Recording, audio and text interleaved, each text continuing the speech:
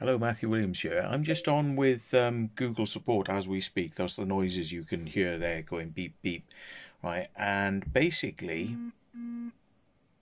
um, I've reported the fact that twice tonight, when I was typing completely innocent comments to people in my sorry dandruff, um, typing comments to people in a premiere of the video, and twice I saw that my comment had been deleted by Google moderator team.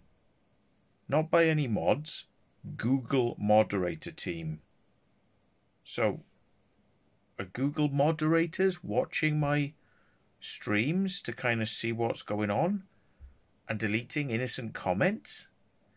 Now, I've been on to Google support and they said that they can't see any comments that have been deleted. So I'm there with a guy called Jay now right? Let's have a look. There he is, Jay, Google support, right? And he can't find that these comments have been deleted. Now, it didn't just happen to me. There were other people who said that's happened to me as well. They've deleted my comments.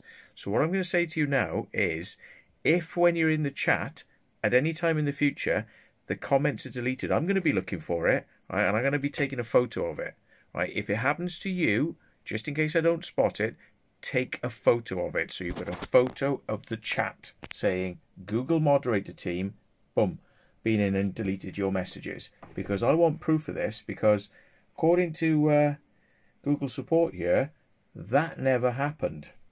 Hmm. I think we need to prove that somebody is able to get in, delete your comments, and there's no trace of it. Because maybe they don't know what's going on, but somebody is able to get in and delete comments right now okay? And I want to find out what's going on. So if you can help with the evidence on that, that would be really cool. Thanks very much.